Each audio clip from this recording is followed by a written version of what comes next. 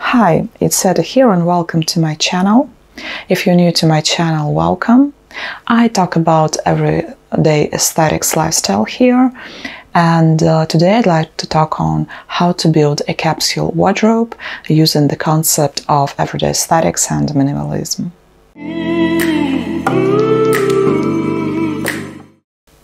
But before I begin, I'd like to welcome all my new subscribers. Hey guys, we are now a very small community of 43 people, and uh, thank you a lot for joining the channel. And uh, if you're interested in some particular topics, uh, let me know in the comments below. I'll surely talk on these. Also, I'm waiting for the day when we reach 100 people here. Then the community tab will be available on the channel and we'll be able to communicate more often. Okay, and back to the topic. First, uh, let's make it clear what a capsule wardrobe is. To me, a capsule wardrobe is a collection of clothing that is uh, composed of interchangeable items only to maximize the number of outfits that can be created. The idea behind it is to have, you know, an outfit suitable for any occasion without owning excessive items of clothing. Uh, to get a short, a capsule wardrobe is a mini wardrobe ma made of really versatile pieces that you totally love to wear. And of course, um, there are great benefits to having one.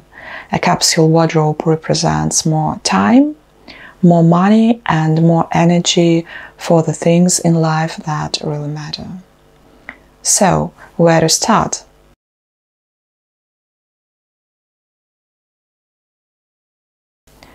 The preparation step is really important for creating a capsule wardrobe. And guess what it is? Uh, it's decluttering, yeah. Especially if it's been more than a year when you went uh, through your clothes and cleaned out uh, what was in your closet. And uh, don't try to build a capsule just yet.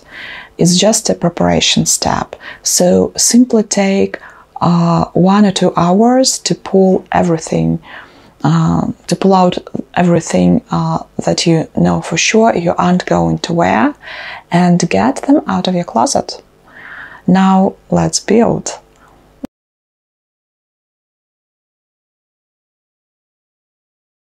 So, step one identify primary outfit categories. Uh, first, take a sheet of paper and uh, identify those primary outfit categories that are most relevant to your lifestyle. Uh, here are uh, all the daily outfit categories I identified active, like sports, hiking, on the go, and so on, work, office, meetings, and so on, dressy, like formal events, concerts, restaurants, uh, date night, etc. Next, uh, it will be lounge, movies or reading at home, you know, work from work from home, reading, and so on. Next, casual, meeting with friends and relatives, shopping, errands, and so on. So imagine a general look and feel for uh, what you would be wearing in each of these scenarios. Then choose ones that are most relevant to lifestyle right now. To me, these are casual, lounge, and active. The thing is, I don't go to the office and do only remote projects, so I mostly need casual items. Also, I run and do yoga from time to time, so I need active wear. And lastly, I spend uh, much time indoors in my apartment and outdoors in a country house, so loungewear is essential for me to have.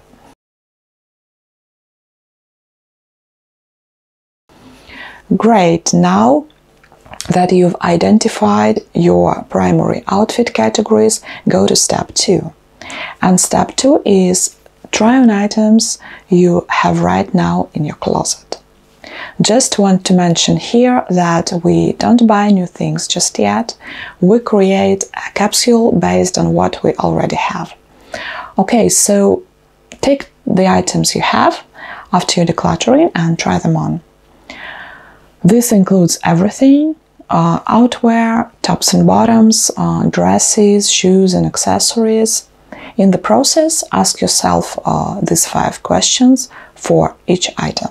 So, first, will, we, will this work with my lifestyle? Uh, second, does it fit uh, with my personal style? Next, does the fit and fabric work for me? Uh, next, does it go with three other items in my wardrobe? And the last question is how many outfits can I create with this item? So, if the answer is no for at least one of the first four questions, uh, then it probably doesn't belong in your capsule.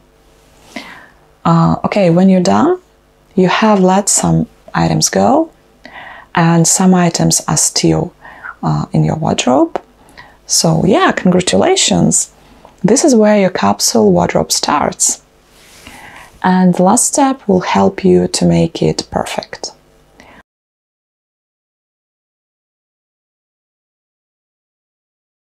So, step three is to identify colors and missing items. So, what you need now is to examine your items carefully. Start with the colors. So, the capsule wardrobes, uh, wardrobe in terms of colors, as a rule, consists of a base color, complementary colors, and accent colors. Black, navy, or brown are the most uh, commonly used colors in capsule wardrobes. As for my wardrobe, my base color, yeah, it's black, it's my favorite. Now, complementary colors, they are all neutral colors like black, white, gray, or beige. They may come in different uh, shades, so simply choose your favorite. As for me, my complementary colors are black, white, and gray. Light gray and you know that uh, graphite um, gray. I don't like beige at all, and it doesn't fit me. Uh, I think. Okay, the good thing is about neutrals, uh, they all coordinate well with each other and base colors, so you can go wrong. As for the accent colors, um, these are bright colors that you know pop up and add to personal style and feel. Uh, these uh, can be solid colors or patterns like florals, polka dots, or stripes, and so on. My accent colors um, are dusty pink, sage, and marsala. As for patterns, I like floral, florals and polka dots. I have one stripe, striped shirt though, yeah. So whatever colors and patterns you like, just make sure your accent colors coordinate with your base color. Next, uh, look at the items you have selected in step 2 and ask yourself, do these items match my favorite colors? If they do, uh, it's perfect. But uh, you might want to buy the same item in a different color sometimes later and uh, let go of the item uh, with the unmatching color and you might want to make a list of such switches uh, which will initially become your shopping list. Okay, uh, now it's time to identify uh, missing items. How do you do that? Well, typically you wear a capsule wardrobe for three months. Then at the end of those three months, you update it for the next season, but it doesn't work for me. My capsule is 90% universal, meaning I can wear it all year round, and 10% of my items are those are for colder seasons. These are shoes, outerwear, and scarves, and a couple of sweaters. To me, this approach looks more minimalist and allows me to stick to my everyday aesthetics principle. Yet, if I were to, you know, uh, stick to the seasons, I'd say that my wardrobe uh, uh, can I can split it into spring summer and fall winter categories. So to identify missing items, I first think of the seasons. Am I missing something for winter or fall, for example. Next, I think of the variety of items I have in each category. By variety, I mean variety in fit, style, and colors uh, rather than numbers. Like, do I have enough items for yoga sessions or do I have anything to wear when working in the countryside? And if you Google the capsule wardrobe formulas, you'll see there are plenty. You know, some say that uh, you can only have 10 items per season, others stick to 10 items per uh, each category, but um, again, it doesn't work for me. I mean, uh, counting the numbers uh, looks limiting and frustrating to me.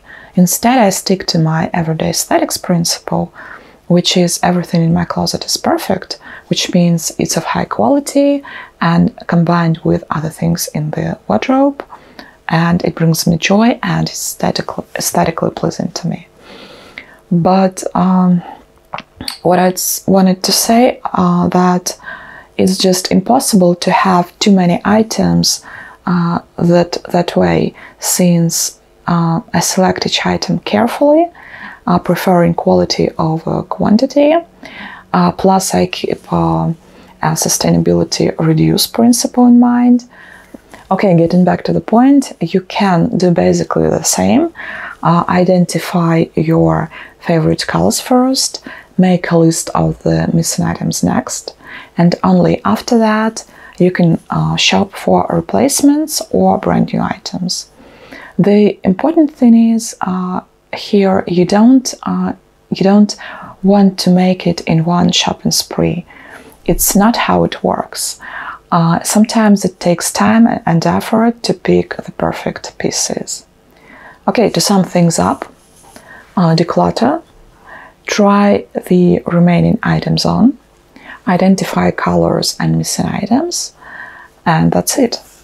And I've also created a simple PDF guide and a cheat sheet for you so that the process of building your capsule wardrobe goes smoothly.